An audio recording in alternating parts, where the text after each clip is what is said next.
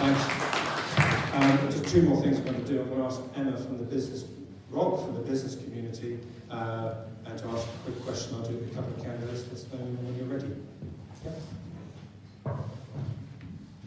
Thanks. Um, yeah, so Harlow is home to many small businesses like ours who are on a journey of expansion and growth. But we find that the current business rate regime makes it very difficult to move to larger premises, to move to a high street shop front, or perhaps to expand to multiple premises. Um, it just becomes unaffordable when you suddenly go from full relief to zero relief in a very short step.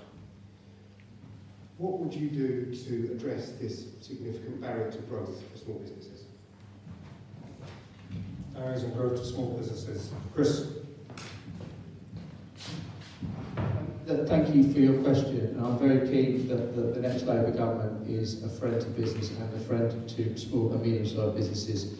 It probably hasn't helped that over the course of the last government, business rates have changed 26 times.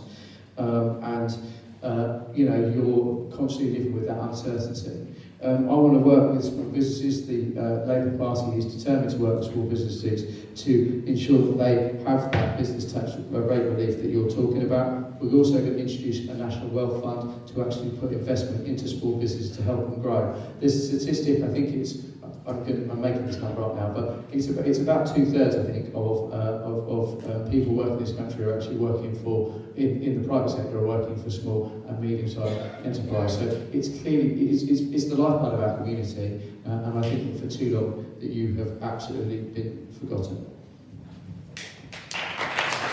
Um,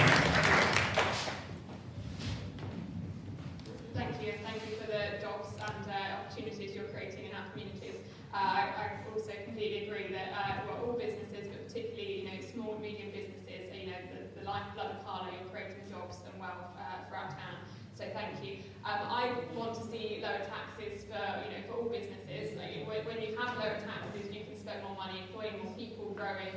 Um, and if you've got a, a problem uh, looking for premises, I'm sure that um, our Conservative Council will be happy to meet with you to, uh, to see what properties are available. And, you know, I would be happy to do the same if there's anything I can do to help.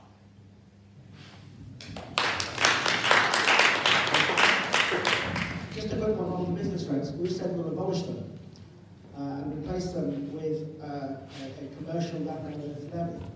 There are ways of actually supporting businesses rather than just hammering them, so we will abolish those rates. And we'll invest in new technologies that help businesses and improve the high street as well, where the local businesses are, a lot of local businesses are. So abolish the business rates.